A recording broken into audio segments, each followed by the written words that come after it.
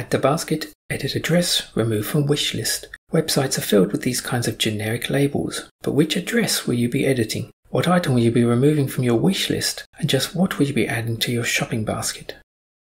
Hi, this is Stephen and welcome to Exploring Accessibility. So what exactly is the issue with such simple labels? Surely these labels are fine. Well they are if you can see, but if you use a screen reader you may find that you do not have enough information once all visual context is lost. Now let's take a look at some good and bad real world examples.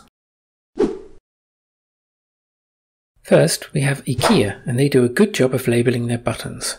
Both the Add to Basket and the Add to Wishlist buttons include the product title and enough of the description that you can probably distinguish products. Maybe the price would be good too, but we won't quibble over it. Another good example is Sainsbury's. The buttons clearly label the Add to Basket button. You can see how this looks in Orca, the screen reader for GNOME Desktop on Linux. This is a very good example of how to label Add to Basket buttons. Now compare this to the Italian clothing retailer OVS. Their website button just says add to wish list. The delete button does say what is being deleted but it is in English even though according to the HTML tag the website's language is Italian. MediaMarkt in Germany also has buttons with generic labels like add to basket and add to wish list. I should mention here that I work for MediaMarkt Saturn Technology and this issue is known about and will be addressed. Still at least they are actually buttons. Compare this to Amazon, proof that size does not mean that you get accessibility right. Or UX. Seriously, that is one ugly site. Apparently Jeff Bezos is afraid to make a redesign because he's worried about it affecting sales. They have loads of buttons just saying add to basket. What will they add? Who the hell knows? Certainly not someone using a screen reader. Here's another example from Amazon's wishlist page.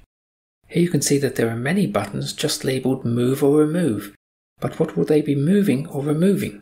What's worse, all the submit buttons you see just labelled submit are because the add to basket buttons do not have a label. For more information on how labels are derived and why you see submit here, please see my previous video on the rules of ARIA. The visible label is actually a span after the input that has ARIA hidden set to true, removing this information from the accessibility tree. This is terrible. The input needs to have a value attribute with the label or an ARIA label attribute. Elsewhere on the page they do have some wishlist buttons with ARIA labeled by, but the element with the label is also hidden from the accessibility tree. Amazon, what are you doing? I hope now you can see how important it is to use a screen reader. But remember to close your eyes or listen to what the screen reader tells you whilst using your website rather than looking at your website, as most screen reader users will not be able to see much, if anything at all. Make the label as short as possible, but long enough that you know what the action will be when triggered.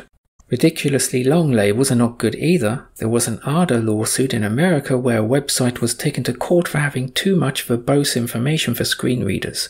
So much so that the site was unusable, at least according to the plaintiff. Thanks for watching this video. If you liked it, please give a thumbs up and subscribe if you'd like to be notified about more videos exploring accessibility.